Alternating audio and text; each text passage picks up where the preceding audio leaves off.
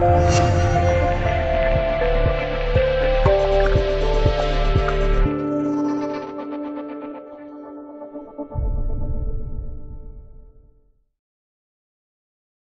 京时间九月十五日晚，马竞在西甲联赛中主场一比一战平埃瓦尔队。赛后在接受媒体采访时，帮助马竞打入绝平进球的小将博尔哈表示，相比于最后时刻的进球，自己更希望球队可以取胜。谈到本场比赛时，博尔哈说：“我们在比赛中错过了很多明显的得分机会，能拿到一个积分当然是不错的。”但是拿到三分不是更好吗？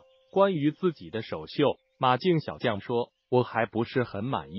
从结果来看，这是一个苦涩的首秀。不过，对于自己的进球，我还是很开心的。但是相比起来，我更愿意球队可以获得比赛胜利。”今年十九岁的博尔哈是马竞二队的前锋，本场比赛是他第一次亮相西甲赛场。并取得了自己职业生涯的首个顶级联赛进球，相信博尔哈的前途将是不可限量。